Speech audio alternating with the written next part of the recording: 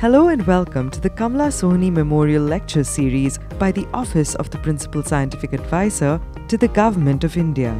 In this series, extraordinary women scientists from India will take you through their work and the stories of their lives. Without further ado, here is today's speaker.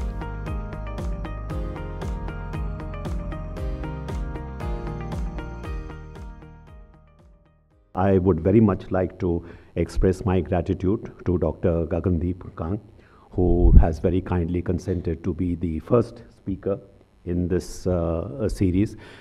Uh, Professor uh, Gagandeep uh, Kang is a clinician scientist. She is a, a professor in the Department of uh, Gastrointestinal Sciences at the Christian Medical College at Vellore, where she also uh, studied, and is currently uh, executive director of the Translational Health Science and Technology Institute, which I believe is linked to the uh, Department of Biotechnology, um, where she is a leading research uh, scientist with a very major focus on viral infections in children and in the testing of uh, rotaviral vaccines. Um, she was awarded the prestigious Infosys Prize in Life Sciences in 2016 for her contributions in this field. And uh, she has published uh, nearly 300 scientific uh, papers. Um, as was pointed out by Dr. Vijay Raghavan, she is the first woman scientist to be elected Fellow of the Royal Society in its more than 350 years of history.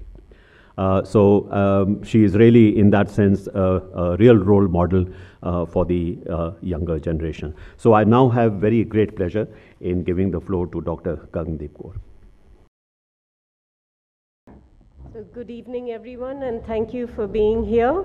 Um, you know, recently people have been saying a lot of things about me, and I always feel like I'm a bit of a fraud. And that's because I come from a place of privilege. I am from a section of society, as are all of you, where we have had ample opportunities to do the things that we have wanted to do. Women in our class of society are not restricted in terms of education. We get support in many shapes and forms. And when I look around me, I see women achievers everywhere. As was pointed out just now, if you look at fields of science and you look for women to speak about science in India, you will find them. So when I thought about, you know, my journey in science, I thought I was doing what everybody else was doing until I started to look at the numbers. And this was an exercise that was sort of forced on me by the National Institutes of Health that asked me to measure in my institution how many women were there at every level of academia. And when I looked in the Christian Medical College Vellore, uh, an institution started by a woman where there has been at least 40% women in every incoming class, I found that at assistant professor level, yes, it was 50 50. And then as you went up the scales, the proportion of women was decreasing. And then I started to see if this can happen in a place like CMC, what is the rest of the country like? And when I came to the Translational Health Science and Technology Institute, it was very interesting. There was one other woman on the faculty. So, this, you know, we are the exceptions when we come up here. And what I'm hoping to do in the next few minutes is first to tell you about my work, and then to tell you about how I got where I am today. If you look at this picture here, you can see that the child has a raised section of abdomen. This is called a pinch test. You do a pinch test when a child has diarrhea. When you take a fold of skin and pinch it, if it doesn't go back in two seconds, that means that the child is dehydrated and requires rehydration. Now, if you look at the size of people, you know, we are a certain weight. Let's say the average person is about 60 kilos. The average baby at about six months of age, seven months of age is about six kilos. But in terms of surface area, the baby has about a quarter of the surface area at a tenth the weight. That means when dehydration happens, it happens much faster in children. And why is that important? Because dehydration can kill. So, what I work on is this really rather pretty virus that is shown up here. This is obviously a reconstruction. It's a very simple virus. It has 12 proteins. And one of those proteins, which is a non structural protein, actually affects the cells in the gut. What it leads to through a mechanism of calcium signaling is a lot of chloride secretion into the gut. When chloride and iron is secreted into the gut, water follows. And if the colon can't absorb the amount of water that is coming into the gut, we get diarrhea. And loss of fluid from diarrhea can lead to dehydration. Rotavirus actually has another trick up its sleeve it causes vomiting. So, if all of you know that when you have diarrhea, what you want to do is give fluids, it becomes a little difficult to give fluids orally when you have both vomiting and diarrhea. So that's why if you can't get children to care quickly enough, they can die. Now, what I've been doing, and this pyramid here is about 10 years of work for me. Essentially, what we have done is study diarrhea in the community, study diarrhea in the hospital, and make estimates for how much death is caused by diarrhea. So, if you take the 27 million children that are born in India every year, one in two children will have a diarrhea, one in eight children will require an OPD visit for that diarrhea, one in 30 children will be hospitalized, and one in 350 children will die. How do we know this? Because we did the community studies, we did studies all around India in hospitals, and for the deaths, we had some deaths in our community and hospital populations, but we also looked at government estimates of how many children were dying of diarrhea in different places.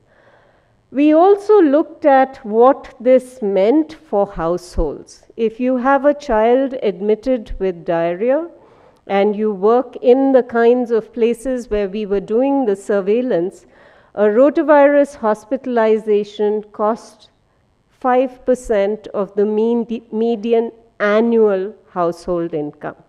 So, not only do you have a child who is sick enough to be in a hospital, you're also taking a significant economic hit because of this virus. So, we did studies in the community trying to understand how we could protect against this virus. And the first studies we did really were rather disappointing. There were studies that had been done in other parts of the world that showed that essentially if your child had two rotavirus infections, natural infections, they would be protected from diarrhea. But if you looked at children in our slums, two infections gave you 57% protection and three gave you 80% protection. We plugged that information into a model and said if we have a vaccine, we think the vaccine is going to give us about 45 to 50% protection, and we don't think that that protection is going to last. In rich countries, we think that they get much better protection and that protection lasts for a long time. That will not be the case when vaccines are brought to India. Nonetheless, given the fact that we have so many diarrheal infections, we also estimated that if we had a vaccine that was even 50% effective as we were predicting, this would save 30,000 lives every year. We worked with a very large consortium, and that resulted in a rotavirus vaccine that was supported by the Department of Biotechnology for over 20 years, and finally was made by an Indian company, Bharat Biotech, and was introduced into the National Immunization Program in 2016. Now, in order to see whether the vaccine was really working very well or not, we did a study where we had 34 hospitals looking at children who were admitted with diarrhea, then looking backwards to see whether they had vaccine or not, and then seeing whether the vaccine was working or not. Now, when you do a trial, when you're testing vaccines, you actually usually take really healthy babies and then you follow them up to see if they are protected. In the trials that we did towards licensure, those babies had protection, about 55% protection. So that was what our model had predicted, and we found it in the vaccine trial. But we wanted to see whether in, real, in the real world was that the case. And the, these data are just emerging, they are unpublished, but what it shows us is that the vaccine protection is really as much as we saw in the efficacy studies in the first year of life. But this is the real world, and all children are not healthy. And if you look at chronically malnourished children, they are usually stunted. Stunted is they are short for their age, and that's a sign of chronic malnutrition. And if you look here, you see that in the first year of life, stunted children are reasonably well protected, but they have no protection in the second year of life normally nourished children maintain the protection. So, what we had predicted in our model, which was built on stunted children, is holding up. Now, why is this important for us? When you look at children who live in really poor areas, these children take multiple hits. This particular girl was born low birth weight she was weaned early, so she had very little breastfeeding. Her mother is not particularly educated. She is the first child. This is her growth chart. Where we would like to see her is up here, where she actually is, as you can see here, is pretty low down. This should be her height on the green line. This red line indicates a height for age score of minus 2. She's actually well below that score. So, this is a chronically malnourished child. She looks healthy, doesn't she? So, stunting is a hidden burden of malnutrition that we don't see. What else do stunted children have? One of the things that I've tried to understand is the gut environment and to do that, I said, these are children in slums. Why don't we look at rich kids as well? Now, if you know the Christian Medical College Vellore, you know that we are not rich. But we are better off than people who live in slums. And what we did was measure two things. One was measure how, how many potentially dangerous bugs there were in these children's guts. And we found that if you look in the slum area, each child that looks healthy had four bugs. Looks healthy, no diarrhea, four bugs. Doctor's children in Vellore, one bug. So, four times greater pathogens being carried in their guts. If you look at inflammatory markers, again, we measured them in doctors' children and in children in the slums. And you can see what the doctor's children were like, pretty close to zero. Children in the slums had really high counts. This was about 1600. Do you know what the diagnosis for inflammatory bowel disease is? Above 200. So our children have eight times greater inflammation in their guts than somebody who has a diagnosis as an adult of inflammatory bowel disease. So their guts are getting damaged. What does that mean? That means you have chronic malnutrition, and in our setting, we find that children have about 30% stunting. We thought, what does this stunting do? We can see what happens to their physical development, but what's happening to their mental development? So we've been tracking these children now for nearly 20 years, and what we find is that the median IQ in slums is 89. That is low normal. 90 to 110 is normal. So if our median IQ is like this, that means that there is a distribution around it.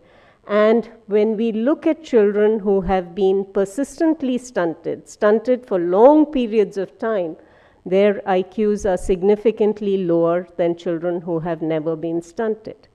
So, what this means in terms of our society, in terms of what it will do to our economy, has been measured by people overseas. It's been estimated that for every five points that you lose in IQ, you actually lose about 10% in your terminal income. This is a problem for India. Between 3 and 4 out of 10 children in India are chronically stunted in more than 200 districts. There is no district with less than 10% stunting. And this has a distribution where it's worse in the north and the center of the country than in the south. And our data are from the south. We have no measurements of this kind from the north. Thank you very much, uh, Gagandeep, for what was uh, really a very, very inspiring address. Uh, thank you for your time.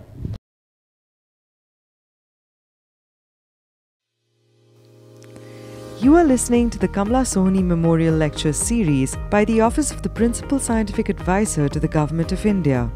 You can catch more lectures on YouTube, Spotify, Apple Podcasts, and Google Podcasts.